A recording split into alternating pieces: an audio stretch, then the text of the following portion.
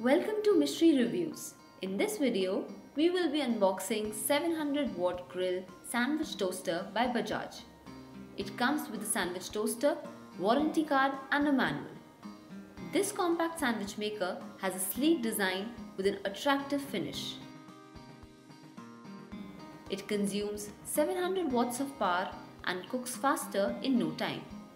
It has buckle clip-on handle and the handle is resistant to heat. The two indicators indicate when the power is on and off. The surface has a coating of non-stick material which makes the cleaning of sandwich maker easier and no breadcrumbs get stuck to it. In our best sandwich maker review, the sandwiches made using Bajaj Grill Sandwich Maker came out crispy with properly sealed edges. All in all, Team Mishry gives the sandwich maker a big thumbs up.